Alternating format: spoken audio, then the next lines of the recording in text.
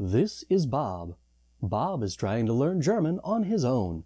He has tried apps, but found there were gaps in his knowledge. What's with all the three-letter words in front of stuff? Why aren't they consistent?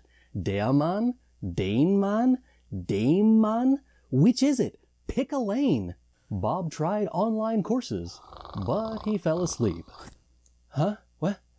No, no, I'm listening. Uh, you were saying something about the grammatical jargon that interacts with the other grammatical jargon, which causes the grammatical jargon to grammatically jargon the grammatical jargon? Oh man, the teacher fell asleep.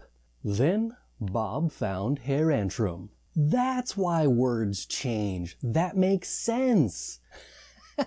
That's hilarious. Wait, I just understood that whole conversation in German. How is that even possible? Herr Antrim, you're a miracle worker. Learn German with Herr Antrim. Entertaining listening comprehension lessons, grammar lessons with funny example sentences, and bow ties to connect them all. Subscribe today.